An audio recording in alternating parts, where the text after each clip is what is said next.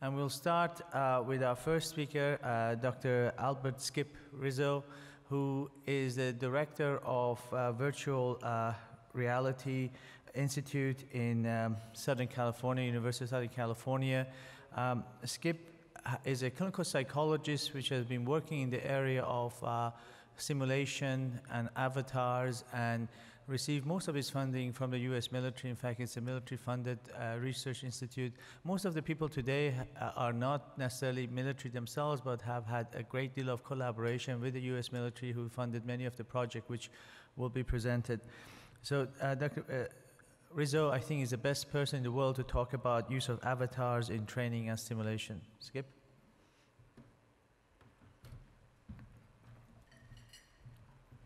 Uh, thank you very much.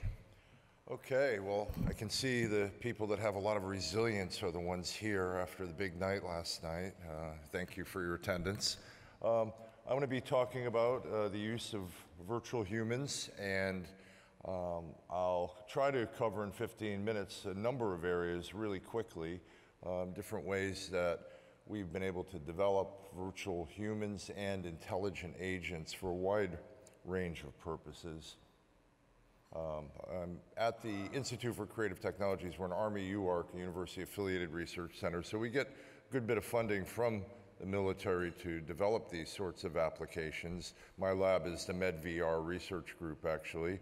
And over the years, we've developed simulations across a wide range of areas. Just to show you some of our use of virtual humans um, in a simulation for PTSD, exposure therapy. Um, the same simulation about five years ago for a cognitive assessment tool in virtual reality where uh, folks after a mild traumatic brain injury could be in a simulation where their attention, memory, and executive function were measured while they're performing actual duties. As well, we also do uh, civilian work. So here's an example of a virtual classroom, what a child would see in a head-mounted display as they turn their head and look around where their task is to pay attention to the board, but meanwhile, distractions in the classroom occur so we can measure attention in these children um, in a controlled stimulus environment that replicates uh, the challenges of the real world. Um, the next one here shows um, a user that's not wearing any instrumentation or markers or anything being tracked with the Microsoft Kinect her movement is being imparted onto a virtual representation on a game-like context for rehabilitation. So we can do physical therapy, occupational therapy within a very simple context, uh, in a game-like context, to try to make it uh, less boring and less um, painful to do. Um, finally, getting to the point of uh, my talk today, our work with virtual humans. Um, this is a fella from the SimCoach project. Um, we'll see more of him later, but I'll let him introduce himself right now. Well, I'm not a real person, if that's what you're asking. But I'm based on the personality and experiences of real soldiers and Marines. I'm still just a piece of software, but I'm getting better all the time. So hopefully I can be a helpful piece of software to talk to. So, with that said, um, I'd just like to talk very briefly about the history of virtual humans in simulations. Now, if we look back, we can see that before the technology was there to really deliver compelling, intelligent virtual agents that you could interact with, uh, characters were popped into virtual environments for a wide range of purposes, mainly to add realism to the environment or sometimes as props or stimuli for doing exposure therapy for people with simple phobias.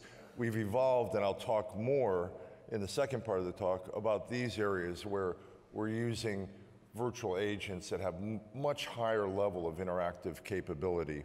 Um, we know that this work uh, in the research literature has certainly evolved, and I think it mirrors the advances in the technology in terms of computer processing, computer graphics, um, intelligence, artificial intelligence, and natural language processing, and so forth, voice recognition.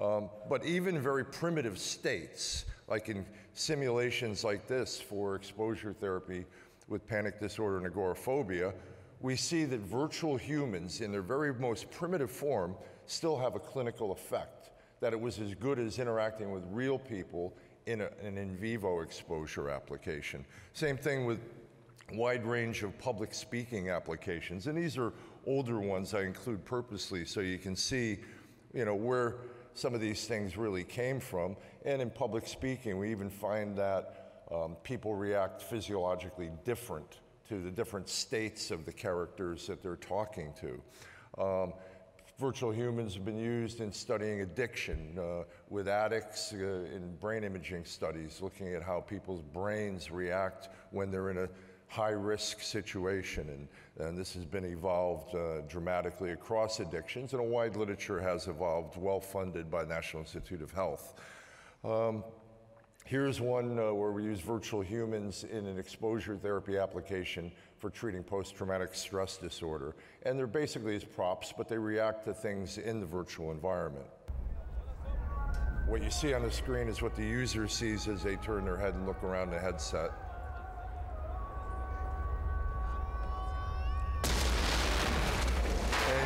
Characters react when real-time events are triggered in the virtual environment. Um, finally, uh, well, that's some data from that work. Um, finally, even very primitive characters have shown value, particularly with autism. This is um, an early application for training high-functioning autism of people on the autistic spectrum social skills. And that work has continued to evolve where social skills training are being trained with virtual characters in a second life type environment where the character is driven, the training character is driven by a person in a remote location. And the data from this small study, anyway, shows that after interaction within these environments, we see uh, changes in brain function in terms of areas of the brain where individuals access uh, their interaction in social settings. You see improvements pre and post. Well, what about intelligent agents and how can we use them? Now, intelligent virtual agents are really uh, the next generation. These are characters that you can talk to that have software that understand that first off you have voice recognition you have natural language processing where the voice gets translated to text it goes into uh, the software the agent has some understanding and can respond in a credible fashion. Um, we've been doing work at ICT since 1999 in this area, a lot for the military, things like negotiation, training, practicing how you would negotiate with an Afghan village elder, perhaps, cultural sensitivity, leadership skills, and so forth.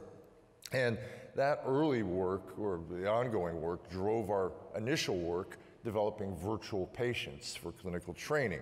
And that was an office. And I'm going to show a quick video clip of one of our first virtual patients. And you'll see very primitive. You would never mistake this character for the real thing. But you'll see a, a medical student in training interacting with a character and getting engaged.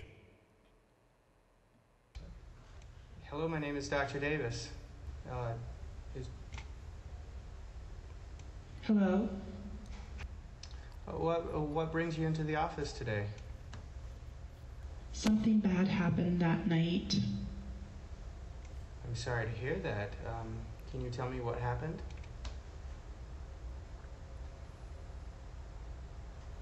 I was in the car with Eddie and he stopped the car and wanted me to kiss him, but when I tried to stop him, he threatened me with a knife. Now you'll notice this character has very minimal gestures, you, minimal Justine? facial expressions, but we found I was so initially that I when people got answers to their questions, a couple in a row, all of a sudden the character comes to life for them and they suspend disbelief. It must have been very tough for you. Yeah, it still is. Do you find yourself uh, still being bothered by what happened? So this goes on for a bit. I'm going to jump ahead now um, and also note that in our initial tests with this, clinicians asked the same questions of the virtual agent, the same types of questions in a diagnostic interview as they did with a standardized actor patient. Um, so this drove our work uh, with the military partnering with the USC School of Social Work that has a master's in military social work uh, program, and we started building virtual patients for them. And here's a quick example of one of them for a suicide Good assessment. afternoon, Sergeant Castilla. What brings you in today? Well, my wife told me she thought I should talk to someone. She's been pretty concerned about me since a soldier suicided on base last week. Did you happen to know the soldier? Yes, he wasn't a friend, but I met the Marine once or twice. He seemed normal at the time. I guess I'm afraid I might end up like him. Do you have any plans to hurt yourself? No, it certainly crossed my mind, especially lately. I just need it all to stop. Sometimes I can't handle it. So you can see the, the gradual improvement in the characters, in their look, appearance, and gesture, and in the natural language processing. And the, um, you know, in a nutshell, this gives novice clinicians the opportunity to mess up a bunch with the digital characters before they get their hands on a live one. And I think that's at the core of simulation training. And that's led to some new work funded by TATRC with a virtual human, virtual patient toolkit. So these are examples of the different patients that um, a medical educator can pick from in a library and begin to build test cases online and deliver them online for clinical use. And I'll show a quick video of our um, one of our initial attending physicians that provides feedback after the clinical interaction. Greetings, colleagues. I am Hippocrates 2.0. Made in the image of the great doctor, I am the first of my kind, a synthetic attending physician. Today, I am proud to introduce to you my virtual standardized patients. They listen, respond, and even reason. Like me, they teach and they challenge.